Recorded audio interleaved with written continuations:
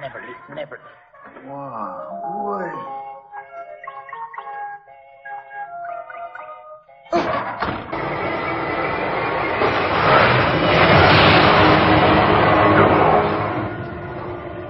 I want to play a game. You're probably wondering where you are.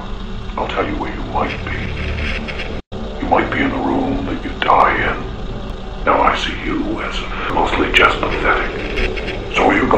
Yourself die today? Or do?